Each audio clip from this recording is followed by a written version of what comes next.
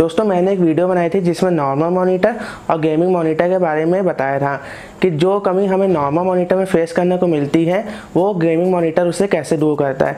खैर, ये तो थी आपकी चॉइस कि आप एक नॉर्मल यूज़र हैं या गेमर्स जिसे गेमिंग मॉनिटर की नीड हो। और दोस्तों, आज हम बात करने वाले उन्हीं मॉनिटर्स के पैनल के बारे में।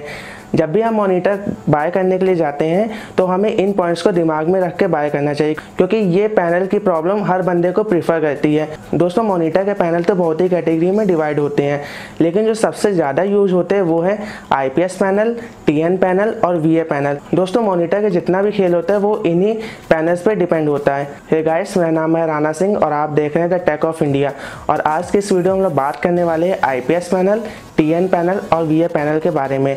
सो वीडियो को लास्ट तक ज़रूर देखिएगा और हाँ अगर आप मेरे इस चैनल पर नए तो प्लीज़ चैनल को सब्सक्राइब कर दीजिएगा। चलिए वीडियो को स्टार्ट करते हैं।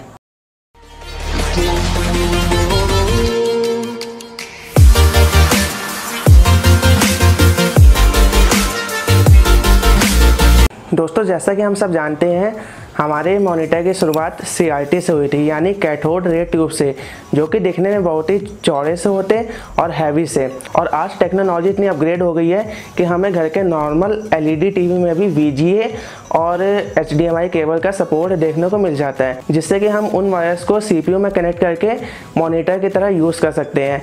अब जैसे जैसे टेक्नोलॉजी अपग्रेड होती गई, हमारी डिमांड भी उसी तरह बढ़ती गई।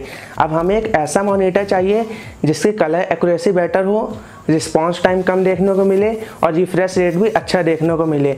अब भाई, इतना कुछ हमें एक मॉनिटर में तो मिल नहीं सकता।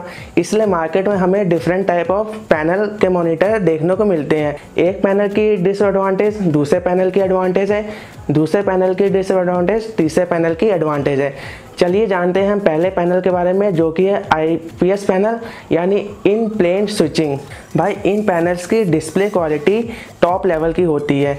इस पैनल की इमेज क्वालिटी कलर एक्यूरेसी सब कुछ बेस्ट से भी बेस्ट होता है और इनका व्यूइंग एंगल भी बेस्ट होता है।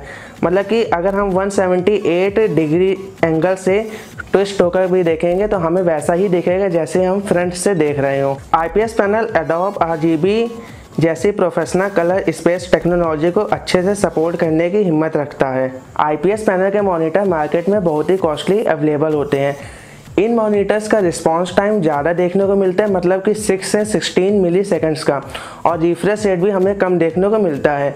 इस पैनल के मॉनिटर ज़्यादातर वो लोग यूज़ करते हैं जिन्हें ज़्यादा से ज़्यादा ग्राफिक्स पे वर्क करना होता है। जैसे कि वीडियो एडिटिंग या फिर फ़ोटो एडिटिंग या फिर वो लोग प्रीफर करते हैं जिन्हें ऐसी एप्लीकेशन पर वर्क करना होता है, जिसका कलर एकदम एक्यूरेट प्रोड्यूस हो। आईपीएस पैनल में बहुत तरह के वेरिएशन इंक्लूड होते हैं, जैसे S I P S H I P S E I P S P I P S और पी एल एस ये सारे वेरिएशन एक दूसरे के सिमिलर होते हैं, बस 19 से 20 का फ़र्क होता है।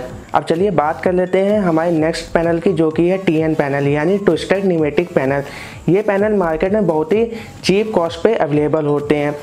इन पैनल्स के रिफ्रेश रेट हमें ज़्यादा से ज़्यादा देखने को मिल जाता है। यानी 120 हर्ट से 144 हर्ट्स का। इन मॉनिटर्स का रिस्पांस टाइम भी हमें कम से कम देखने को मिल जाता है, यानी दो से पाँच मिली सेकेंड्स का। और इन मॉनिटर से हमें गेम खेलते टाइम लैगिंग जैसी कोई भी प्रॉब्लम फेस करने को नहीं मिलती, जिससे कि गेम बहुत ही स्मूथ चलता है। इस पैनल की डिसएडवांटेज ये भी है कि ये पैनल सिक्स बिट के होते हैं, जिससे कि ये पूरे 16.7 मिलियंस कलर को डिस्प्ले करवाने में प्रॉब्लम करता है। और इस पैनल का व्यूइंग एंगल भी अच्छा देखने को नहीं मिलता है। ये पैनल स्पेशल उन लोगों को प्रीफर करता है जो गेमर्स होते हैं। गेमर्स को व्यूइंग एंगल से कुछ मतलब नहीं होता, बस सामने बैठ के गेम पर फोकस करना होता है और उन्हें इन पैनल में रिफ्रेश रेट भी अच्छा देखने को मिल जाता है और रिस्पॉन्स टाइम भी कम से कम देखने को मिल जाता है। देखा जाए तो जो प्रॉब्लम हमें आई पैनल में फेस करने को मिलती थी, उसका इम्प्रूवमेंट हमें टीएन पैनल में देखने को मिला।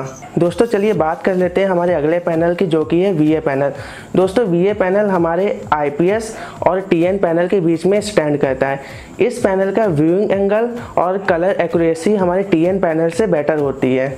वीए पैनल का हाई कंट्रास्ट रेशियो बाकी दोनों पैनल से बहुत अच्छा होता है।